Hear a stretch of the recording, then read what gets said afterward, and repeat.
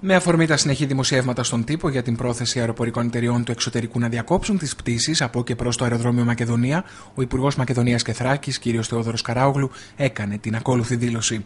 Μετά τον ακτοπλοϊκό και το σιδηροδρομικό αποκλεισμό, η Βόρεια Ελλάδα βρίσκεται αντιμέτωπη και με τον αεροπορικό.